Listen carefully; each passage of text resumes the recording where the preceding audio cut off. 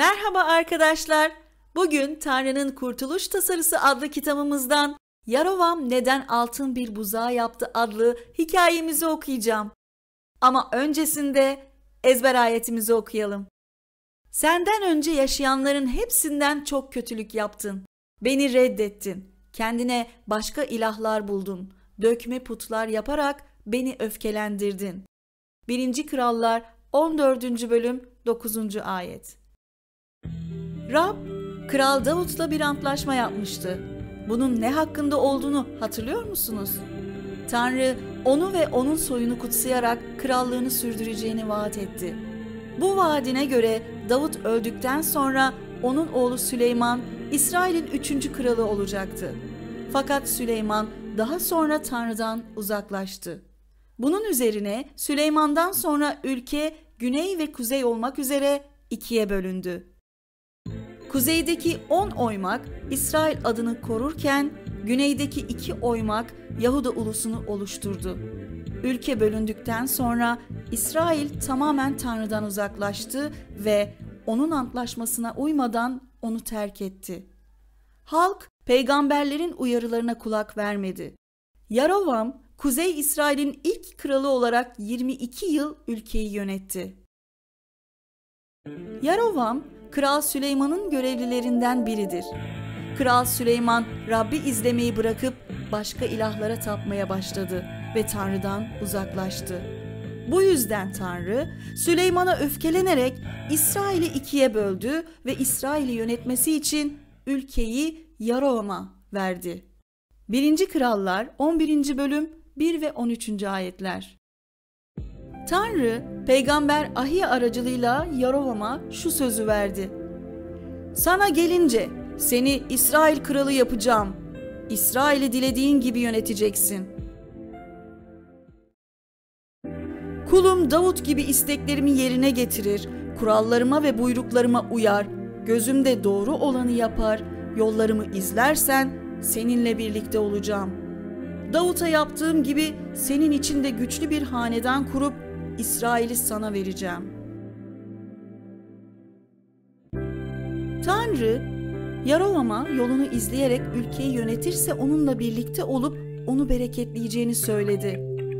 Buna rağmen Yarovam bir süre sonra kaygılı hissetmeye başladı. Halkın Yarışelim'e gidip Rabbin tapınağında kurban sunması onu rahatsız ediyordu. Yarovam halkına bakıp şöyle düşündü. Halk Yarışelim'e gidip Rabbin tapınağında kurban sunarsa yürekleri efendileri olan Yahuda kralı Rehavam'a döner. Beni öldürüp yeniden Rehavam'a bağlanırlar. Bu yüzden Yarovam halkın Yarışelim'de bulunan tapınağa gitmeden Kuzey İsrail'de kurban sunabilmesi için danışmanlarıyla bir çözüm bulmaya çalıştı. Yarovam danışmanlarıyla konuştuktan sonra bir çözüm buldu. İsrail'in iki kentine yani Beytel ve Dan kentlerine altın buzağlar yaptırarak halkın Yarışelem'e gitmeden burada tapınmalarını sağlayacaktı. Bunun üzerine hemen buyruk verdi ve bu kentlerde iki altın buzağı yaptırdı. Yapım işleri bittikten sonra Yerovam halkına Tapınmak için artık Yeruşalim'e gitmenize gerek yok. Ey İsrail halkı, işte sizi Mısır'dan çıkaran ilahlarınız dedi. Bundan sonra İsrail halkı Beytel ve Dan kentlerinde yapılan altın buzağlara tapmaya başladılar. Böylece Yarovam on buyruğun ilk ikisini çiğneyip reddetti ve İsrailliler Yarovam yüzünden günah işlemeye başladılar. Ama Yorovam'ın halkı sürüklediği günahlar bununla bitmedi. Ayrıca çok sayıda tapınak yaptırdı ve Levillerin dışında her türlü insandan kahinler atadı. Yarovam Tanrı'nın vaadine açıkça güvenmiyordu.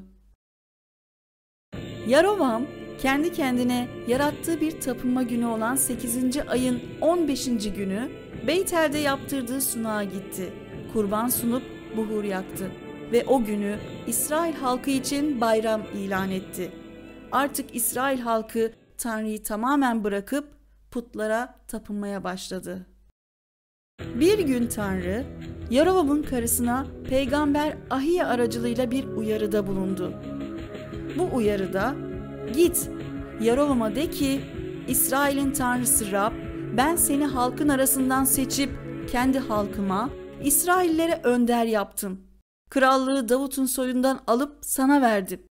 Ama sen buyruklarıma uyan, gözümde yalnız doğru olanı yapan ve bütün yüreğiyle yollarımı izleyen kulum Davut'a benzemedin.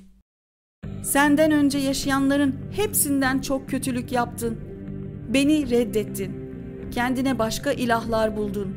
Dökme putlar yaparak beni öfkelendirdin.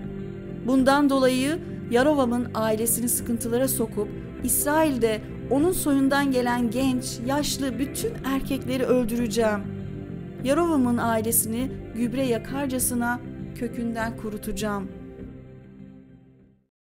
Tanrı'nın sözüne göre Yarovam öldükten sonra onun yerine oğlu Nadav kral oldu. Ama İsrail'de sadece iki yıl krallık yapabildi. Bağışa adlı görevlisi ona baş kaldırarak Nadav'ı öldürdü. Bağışa kral olur olmaz Yarovam'ın bütün ailesini öldürdü. Sağ kalan olmadı. Bütün bunlar İsrail'in tanrısı Rabbi öfkelendiren Yarovam'ın işlediği ve İsrail'i sürüklediği günahlar yüzünden oldu. Arkadaşlar, Tanrı bütün evreni, gökyüzünü, yeryüzünü, içindekileri yaratan ve yönetendir. Tanrı bütün evrenin sahibidir. Burada görüyoruz ki Yüce Tanrı Yarovam'a bir söz verdi. Ama Yarovam Yüce Tanrı'ya güvenmeyip kendi gücüyle krallığını sürdürmeye ve onu korumaya çalıştı. Tanrı'yı bırakıp başka ilahlara taparak on buyruğun ilk ikisini çiğneyip Rabbi öfkelendirdi. Bunun sonucunda Rab onu cezalandırdı ve bütün ailesini yok etti. Arkadaşlar, herhangi bir şeyi Tanrı'dan daha çok sevip Tanrı'nın yerine koymamalıyız. Tanrı'ya ve bize verdiği söze yürekten güvenmeliyiz. Bu dünyayı yaratan ve yöneten Tanrı'nın çocukları olduğumuzu unutmamalıyız. Tanrı'nın sözüne itaat ederek ve onun isteğini yerine getirerek yaşamalıyız. Müzik